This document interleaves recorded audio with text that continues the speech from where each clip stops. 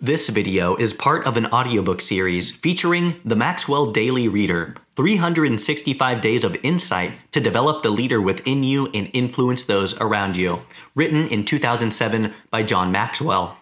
For more audiobooks, please visit my YouTube channel, find me on Spotify, or visit my website for downloads.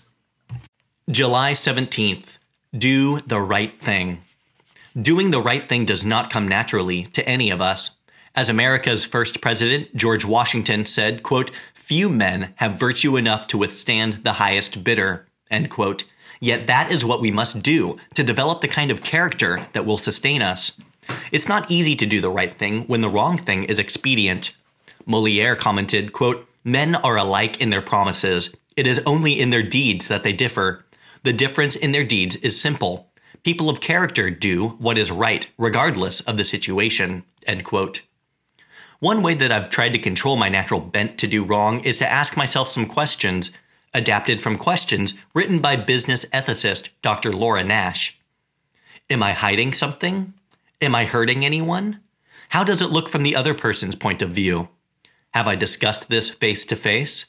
What would I tell my child to do? If you do the right thing and keep doing it, even if it doesn't help you move ahead with your talent in the short term, it will protect you and serve you well in the long term. Character builds, and it builds you. Or, as Dr. Dale Bronner, a board member of the nonprofit organization Equip, puts it, honesty is not something you do. Honesty is who you are.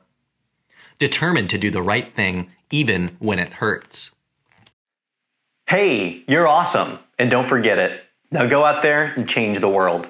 Or stick around and listen to some more audiobooks. You can find all the audiobooks I produced in this playlist or just more by John Maxwell right here. Thanks for watching, and I'll see you next time.